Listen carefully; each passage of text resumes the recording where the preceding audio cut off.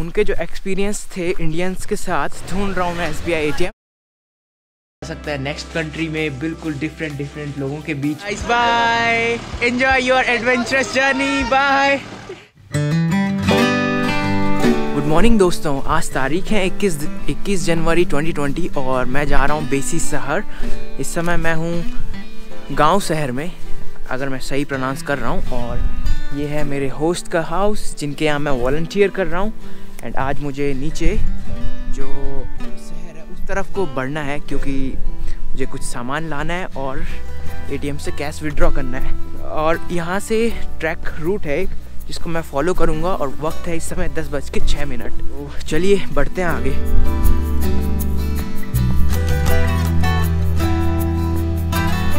तो ये है गाँव का रास्ता, जो कि पूरा स्टेप्स से भरा हुआ है, जैसा कि यहाँ के बहुत से रास्ते हो, होते हैं। ये गाँव जो है कनेक्टेड है कुछ इस तरह की रोड से। हम लोग यहाँ से बेसीसार की तरफ़ जाएँगे। आ, मुझे पूछना होगा किसी को। आ, नमस्ते। आंटी बेसीसार के लिए रास्ता पैदल रास्ता? जी हाँ पैदल? ओके धन्यवाद। तो यहाँ नीचे सीढ़ियाँ जा रही थी। मैंने उनसे पूछा उन्होंने कहा यहाँ से जाया जा सकता है?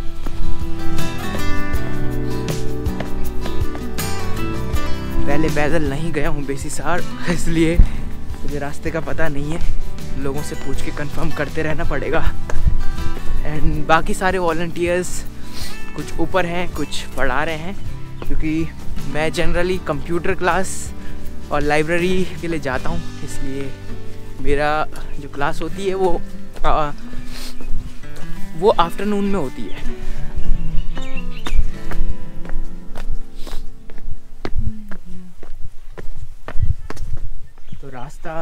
होता हुआ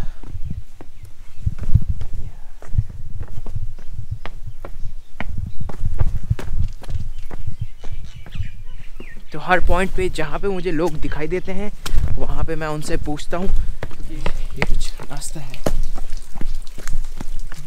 तो अब मैं कनेक्ट हो गया हूँ यहाँ की रोड से और यहाँ की रोड की एक ख़ास बात मैं आपको बता देता हूँ। अगर आप मेरे साथ पहले से जुड़े हुए हैं तो आपको पता होगा कि बारिश के दौरान यहाँ पे बस हो या जीप हो सब फंस जाती है। इसलिए ट्रैक रूट ज़्यादा बढ़िया रहेगा अगर आपके पास प्रॉपर बारिश का गियर है।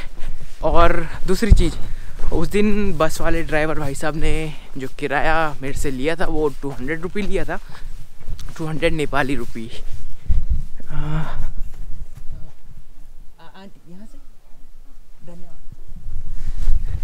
तो मैंने पीछे जो आंटी हैं उनसे पूछा रास्ता ये है। सो so गाइज़ जब तक हम बेसार पहुँचते हैं, तब तक मैं आप लोगों के साथ एक बहुत ही इम्पोर्टेंट चीज़ डिस्कस करना चाहूँगा।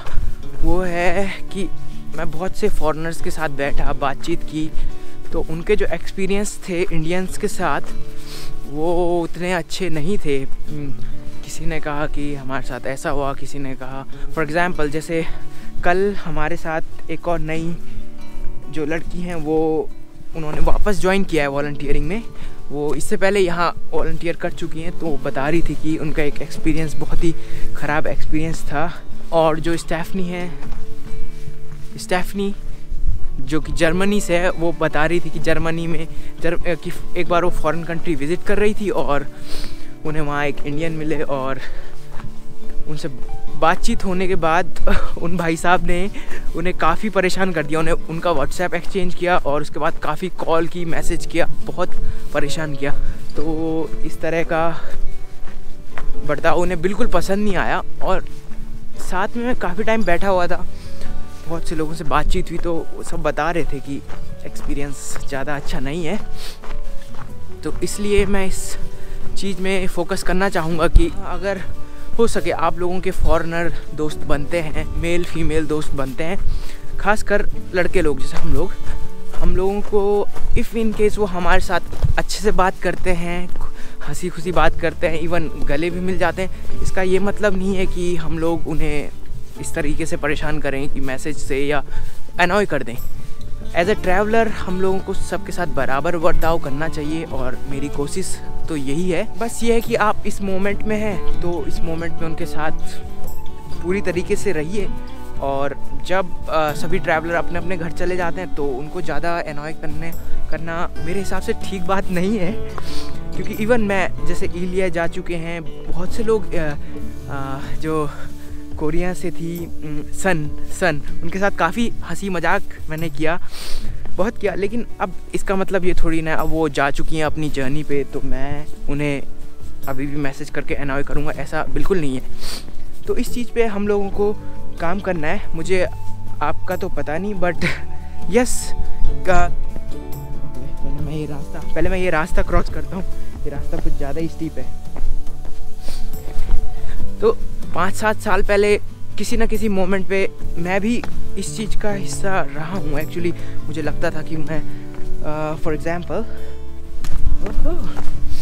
कि मुझे मैसेज करना चाहिए या मुझे reply I mean expecting it's the expectation कि आप एक्सपेक्ट कर रहे हैं कि वो भी हमें कंटिन्यूस रिप्लाई करें. तो ऐसा नहीं होता है. ओके uh, okay, एक और रास्ता है. तो ये रास्ता नीचे जा रहा है और मैं इस रास्ते को लूँगा. इसलिए बस यही मेरा एक छोटा सा मैसेज पहुँचाने पहुंचाना चाहता हूँ कि इससे हमारी कंट्री का नाम ख़राब होता है। जब भी सब बोलते हैं कि हमारा एक्सपीरियंस अच्छा नहीं रहा इंडिया के साथ इंडियंस के साथ तो मुझे भी कहीं ना कहीं ख़राब लगता है। तो बस गाइज़ अभी अपने कंट्री की इमेज आपके और मेरे हाथ में एज अ ट्रैवलर इस समय मैं अकेले नहीं चल रहा हूँ। मेरे साथ मेरी कंट्री का फ्लैग चल रहा है। इस समय रिप्रेजेंटेटिव हूँ as I am from India so India का रिप्रेजेंटेटिव हूँ और मेरा किसी भी तरह का व्यवहार मेरी कंट्री की इमेज डिस्प्ले उधर बना सकता है या ख़राब कर सकता है। तो इस चीज़ का ध्यान आप लोग भी रखें और मुझे भी रखने की ज़रूरत है। तो गाइस यही मैसेज मुझे आपके साथ कन्वे करना था। अगर आप कुछ टिप्स दे सकते हैं मुझे कि कुछ चीज़ें शेयर करना चाहते हैं तो प्लीज़ शेयर कीजिए, क्योंकि इससे हम लोग अपने ट्रैवलिंग एक्सपीरियंस को और अच्छा बना पाएँगे। रास्ता कंटिन्यू है। एंड मिट्टी वाले रास्ते के बाद स्टेप्स और अभी तक का मेरा एक्सपीरियंस बच्चों के साथ वॉल्टियरिंग में काफ़ी अच्छा रहा है, मज़ा आता है। हर दिन एक नया चैलेंज होता है और कभी कभी काफ़ी ज़बरदस्त पार्टी एट्सेट्रा हम लोग कर लेते हैं। एंड तीसरी इंपॉर्टेंट चीज़, मैं यहाँ पे काफ़ी सारे अच्छे दोस्त बना रहा हूँ। अभी मुझे सीढ़ियों पे ध्यान देने की ज़रूरत है। आपसे नीचे बात करता हूँ। नमस्ते। आंटी बेसी सार के लिए यहीं से। बाज़ार के। एंड बेसी सार बेसी सार ओके ओके धन्यवाद बेसी सार बेसी शहर भारत से। हाँ जी मैं अकेले ही। ऊपर सैम सर उनके हैं। Sam sir. Shamsher. Shamsher. Okay उनका नाम शमशेर है। हाँ। ओह हमने उन्हें सैम सर बना दिया। कितना दिन हो गया है? मेरे को नेपाल में कि उनके यहाँ? नेपाल में आए नेपाल में मैं आया था 28 दिसंबर।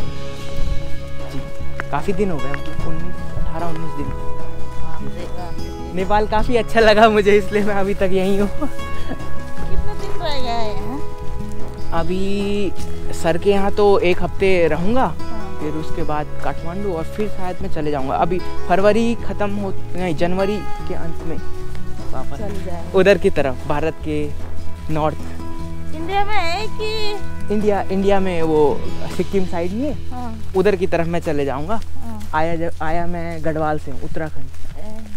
कितना साल हो गए? मेरे को हाँ। मेरे को 26 साल। जी जी। बोलिए बोलिए नाम अंकित हो। तो 46 मिनट चलने के बाद मैं बेसीसार शहर के पास पहुँच गया हूँ। एक्चुअली नाम में ही शहर जुड़ा हुआ है लेकिन अभी भी थोड़ा 10 टू 15 मिनट की वॉक बाकी है। लेकिन शहर बिल्कुल पास है। सो so गाइज़ हम लोग बेसी शहर पहुँच गए हैं। और मुझे टाइम लगा है एक घंटा। नीचे आने में एक घंटा लगा है अब ऊपर जाने में जितना लगेगा पता नहीं बट आपके साथ शेयर करूँगा। सो so, सामने की तरफ़ रोड है। ओके धन्यवाद आंटी। धन्यवाद। Bye aunty. Bye so guys aunty लोग अपने रास्ते जा चुके हैं और मुझे जाना है थोड़ा सा और स्टेप्स बाकी हैं। मैंने आपको जल्दी कह दिया कि बेसिस पहुँच गया हूँ बट ऐसा नहीं है। सो so, ये। सो गाइज़ मैं पहुँच गया हूँ बेसी शहर। अब मुझे ढूंढना है यहाँ एटीएम किससे पूछूँगा। Excuse me brother do you okay धन्यवाद। तो उन्होंने मुझे एटीएम की डायरेक्शन दे दी है। सो गाइज़ यहाँ मेरी इमेजिनेशन से कम लोग हैं। मुझे लग रहा था कि काफ़ी ज़्यादा लोग होंगे। बस ढूंढ रहा हूँ मैं S B I A T M तो गाइस कैश मैंने निकाल दिया है एस बी आई से और अब मेरा टास्क है पीनट बटर ढूंढना। तो ये एक शॉप ग्रॉसरी स्टोर है, जहाँ से मैं पीनट बटर ले रहा हूँ। And what else I can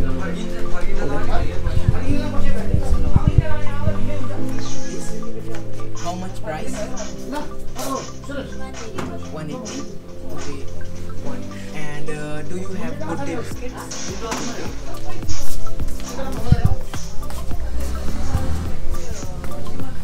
okay aunty तो पीनट बटर तो इधर मिल गया है। अब नेक्स्ट चीज़ है गुड डे बिस्किट्स जो कि बेकरी में मिलने चाहिए। बेकरी मैंने यहीं कहीं देखी थी। सो so गाइस सारा स्टफ़ मैंने ले लिया है। अब वापस चलने का समय है। और बस मिलता हूँ आपसे ऊपर की तरफ़। सो so गाइस इंडिया में इतना बड़ा वाला कुरकुरे नहीं होता है। बीस वाला कुरकुरा होता है बट वो उससे छोटा होता है। और मुझे नहीं पता इसका वेट कितना है, पर टेस्ट करेंगे आज। बारह बज चुकी हैं तो अब मुझे वापस पहुँचना है ऊपर। देखता हूँ कितनी देर में पहुँचता हूँ। फाइनल मैं स्टेप स्टार्ट करता हूँ, और अब मैं स्पीड में जाऊँगा। सीधे तो पीछे आप रोड देख सकते हैं। ये वो रोड थी जहाँ हमारी बस फंसी थी, और बाद में और भी वॉल्टियर्स थे, उनकी गाड़ी फंसी थी। सो so, अगर आप लोग पर्सनल व्हीकल लेके आ रहे हैं दो चीज़ें। ग्राउंड क्लियरेंस तगड़ा और टायर बहुत मोटे। तब जाके आप शायद इसको सरवाइव कर पाएँगे। मैं ऊपर पहुँच गया हूँ। टाइम 12:57 और आप मेरी हालत देख सकते हैं बहुत ख़राब है जो कि fully bad condition and William school से वापस आ रहे हैं। और एक काम अब करूँगा मैं। उनके आउट हाउस में जाऊँगा और गीज़र ऑन करूँगा। क्योंकि फिर आधे एक घंटे बाद नहाऊँगा।